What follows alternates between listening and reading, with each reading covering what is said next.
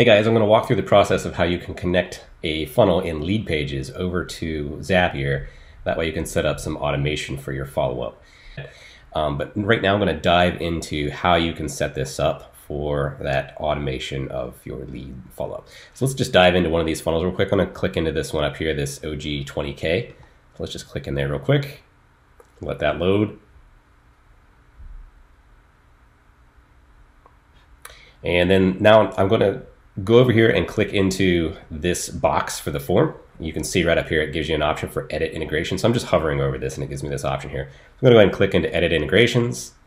And then you can see over here off to the side, uh, it gives you the form name. Best practice, I'm gonna give it a, an actual form name in here because I don't like how it's that default form with the, the date and time that this was actually created. So let's just call this, this was what the, the OG uh, 20K funnel. And the reason why I want to give it that name is because this form name is going to show up over in Zapier when I go to set this up. And I'm going to have a drop down in there and I want to make sure that I'm using the right form. So this will be beneficial for me to have this named properly over there. Okay, so the next step is I'm going to go ahead and click into where it says add an integration. You can see that they've already connected uh, add an ActiveCampaign into this. So let's go ahead and click into add an integration in here and let's just uh, click on more services. This is where we're going to set this up for Zapier. So if we just scroll down through here, we can see uh, we've got Zapier listed down here. So I'm going to go ahead and select webhooks by Zapier and go ahead and click on post or use this Zap. And then it's going to pop up this window here and it's going to give you the option to go ahead and start creating this Zap in here. Uh, I'm going to go ahead and rename this. I don't like using uh, the name that uh, Leadpages automatically puts in here. I want to give this the, the funnel name in here. So let's just call this OG20K, and then we're going to say that this is Leadpages to uh, Chirply follow-up campaign. And I like to name it in the title of my zaps whenever I'm setting these up. I like to give it a, a descriptive name in terms of like what applications are being used uh, for a particular campaign in terms of it going from Leadpages over to Chirply and I want to give it the actual name of that funnel in there too. That way, you know, six months later or, or uh, three months later, whatever, if I go in there, if the client goes in there, um, they know exactly which one of these zaps pertains to this particular funnel and this particular campaign. So let's go ahead and go on to the next step here. So you can see that uh, Zapier automatically pre-populates in here the trigger step, which is the Leadpages. So when a new form submission goes to that lead page, this is going to trigger the zap. So I'm going to go ahead and click into choose an account. I only have one account um, set up uh, through Zapier for this Zapier account. So let's just click into Leadpages. If I had uh, a bunch of different clients set up through this Zapier account, you'd see um, there's all set up in there for different Leadpages accounts. So let's go ahead and click in here. Let's click into continue. And then you can see up here at the top for the form, it's automatically going to find this OG20K funnel. It says do not change this. Don't change it. Um, but if it had been that you know form November 28th, 2020, 4.15 p.m. or something like that. I'd have no idea if that was actually the, the right funnel, but I, I want to make sure that it is. So I'm just going to go ahead and click continue. And the next step is we got to test the trigger. You always got to test the trigger whenever you're setting up a new Zap. So you can see there's some sample data. Uh, let's go ahead and click on continue here. I'm actually going to go ahead and submit um, some other data before I, I click on continue here because I don't like this. This is this is uh, sample data that lead page is sent through if someone hasn't gone through the funnel yet. So let's go ahead and go through that funnel real quick. So I'm just going to go ahead and uh, I'm going to go ahead and X out of this because this is already set up over in Leadpages. I want to go ahead and um, I'll come back to this here in a second. I'm going to go ahead and open this up in a new tab. And let's see here. So we're in the preview mode here. So let's just put in here Chris and then test at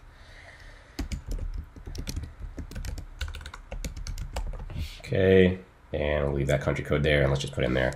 Uh, if I put in all ones, I think it's going to come back. I think Leadpages is smart enough to bounce back and say that that's not a legit phone number. So I'm going to put in here something that looks legit.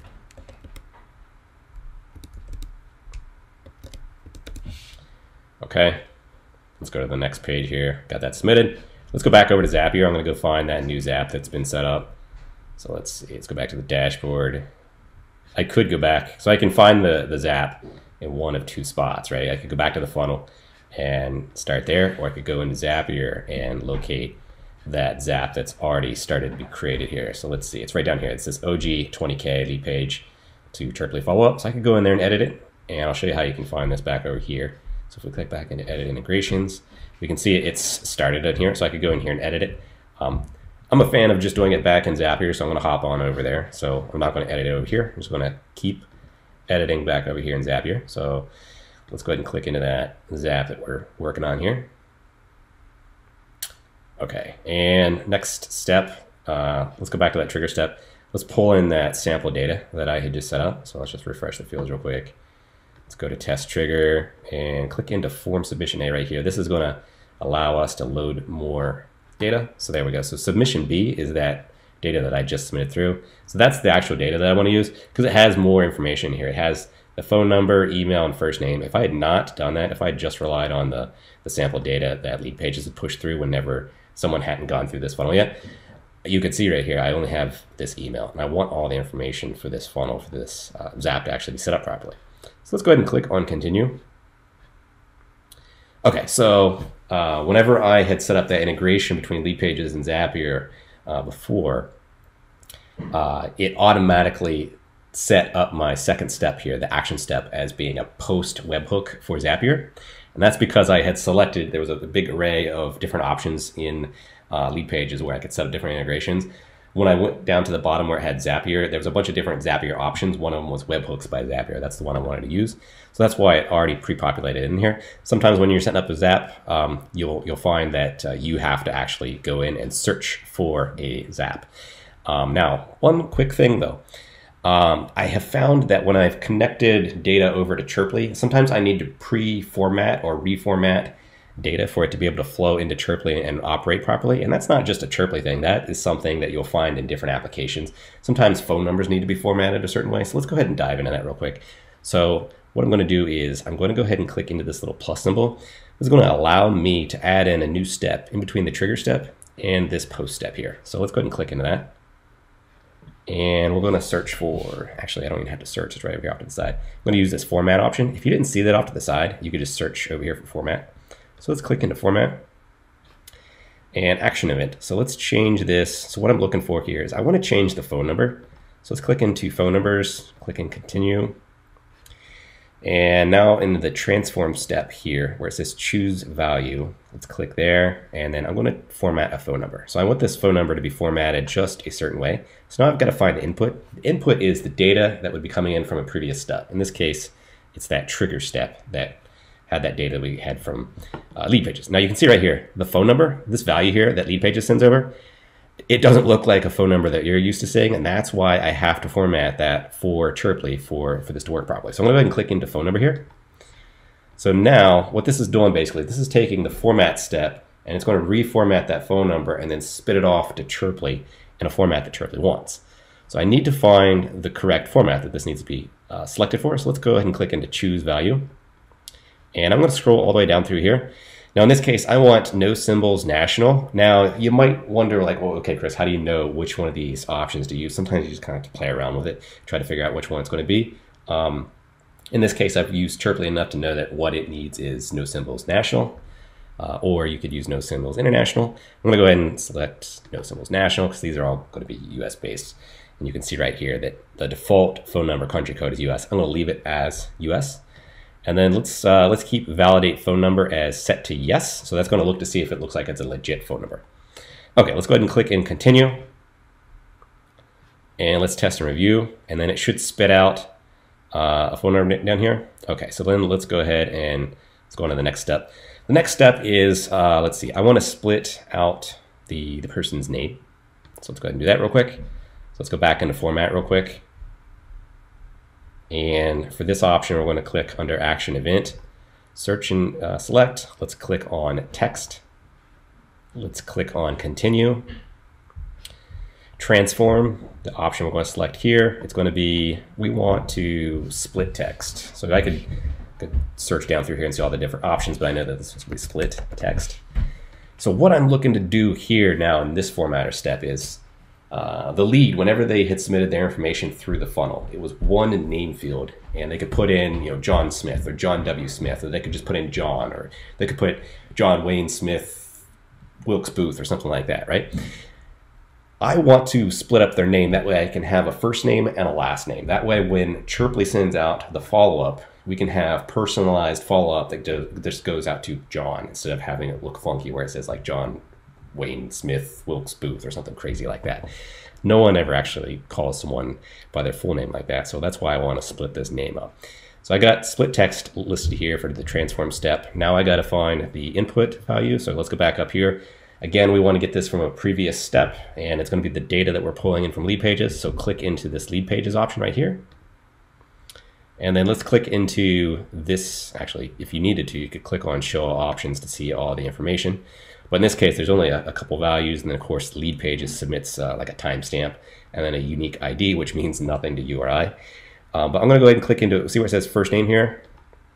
Now I know that I only put my name in there, but you know, someone could be going through this funnel and putting their full name in there. So let's just, let's always default to trying to find whatever it looks like lead page is sent through for a name field. Okay, let's go ahead and click on the next option here, separator. You can see right down here, you've got different, you, you could put in this option right here. The default is, so I'm just gonna copy that instead of typing it out. Uh, I wanna split this up by spaces. Now I can't go in and just put, I can't go into the separator field and just put a space. Like I can't, can't go on my keyboard and hit space. That's not actually going to indicate to the formatter in terms of how to split it up by spaces. I have to use this funky little uh, string of characters right here. You can see right here where under separator it says character or word separator to split the text on. The default is, and then you can see right there. So I just copied that and pasted it in there. And then if you needed to find what other um, weird uh, separator strings you'd click through this link here and find out what Zapier might be looking for. If it was something like a, a comma or something like that, you could simply just put in a comma. Okay, so next option, segment index. So let's click into choose value. And I want to use all as separate fields. So let's click, click on that. And what that's going to do is it's going to separate all of the, the names, uh, split by spaces, all the names into different rows, essentially. So let's go ahead and click into continue and test and review. And then you can see in this case, there's item one. If I put in you know, Chris McCoy or something like that, there'd be item one and then item two. Okay, let's go ahead and let's click, uh, that's fine how that was. Let's go ahead and click into the next option here. So I don't actually want this to be a post. Uh, what I'm gonna do here instead is I'm gonna change this. So I can click into the three dots that are over here off to the side and, uh, sorry, actually what I'm going to do is I'm going to click right here where it says choose app and event. Uh, I'm going to go ahead and change this. So click in there and change that. And I'm going to use Chirply. Uh, if whatever app you're looking for isn't displayed up here, these are just showing some of the most common apps I've been using recently. But if, if you don't see the, the app you need uh, to, to set up this step for, then you would just click right into the search apps field and you would search for it. So you could do a search like this, right? Okay, so let's click in there. Action event, so in this case, and what I'm setting up here now for Chirply, you're probably not using Chirply. You're probably using something else. Maybe you're using ActiveCampaign, Infusionsoft, um, uh, ConvertKit, or something else like that. So this step is going to be a little different for you. So you'll need to actually go in and look at Zapier's help documents for how to set up this next step. But this might help give you an idea of what this might look like. So basically, I want to sync these leads over to Chirply before I can do anything else. So let's go ahead and click on Sync Leads. Click on Continue choose an account and it's going to be that account there. So I've got a couple different Chirply accounts. So let's click and continue there. And now I could have multiple lists in this Chirply account. In this case, I think I only have, uh, there's just two in here. So let's put it in this one right here. This is uh, like the clients list here and then campaign name. So I might have several different campaigns set up in Chirply. I've just got this one for this one client. So let's click into there. And then um, let's put in the phone number. So this is where we're going to use the formatted phone number where I had gotten uh, it and extracted up here. I'm not going to use it from Leadpages because I need the actual formatted number. So let's click into numbers here. Click into phone number there and email ID. Uh, we're going to use Leadpages data right here because it was fine. I didn't need to reformat or anything like that. Let's click that and then first name. So you can see here, this is the power of why I uh, have those. Uh, this is the power behind why I have those those field names split up for the name because I wanted to put if it was a first name, if it was a last name, so forth. So let's click in here. Let's go to text. Let's put output item one. Now, for me to be able to put in the last name, you know what? I need to actually go back and submit another sample of data. So let's go ahead and do that real quick. So let's go back to preview here. Wait for that to load. It's still loading. I can see that up here. Okay.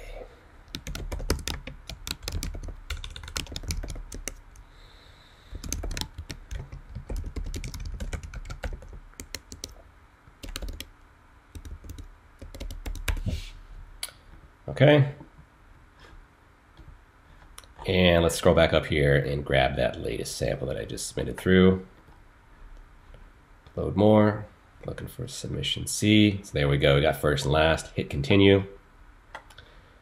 And let's see here, setup action, that's all good. Test action, test and review. Okay. Text, test action, test and review. So now we should see item one and item two. Perfect. Okay, let's go back now to that last step here. And let's add in last name. So let's see here. So last name, text. There we go. So there's the last name field. And then if there's any other data that I would have pulled through from that form, in this case, she only had name, email, and phone. But if we were collecting like their website or address or company name or anything like that, we could add that in here too. Once we hit continue, and once we turn on this zap, because we're done, we could go ahead and test and review. So that's all good. That sent that over. So once I turn this on, that's all set up. So now whenever we start running ads to this funnel, the lead information is going to get captured by Leadpages, sent from Zapier over to Chirply, and then there's going to be automations that go out automatically for this lead to be able to get hit up with an SMS message and a email message um, a, a certain period of time after they've opted in, and then we'll see if they convert. All right, guys, if you have any questions, let me know.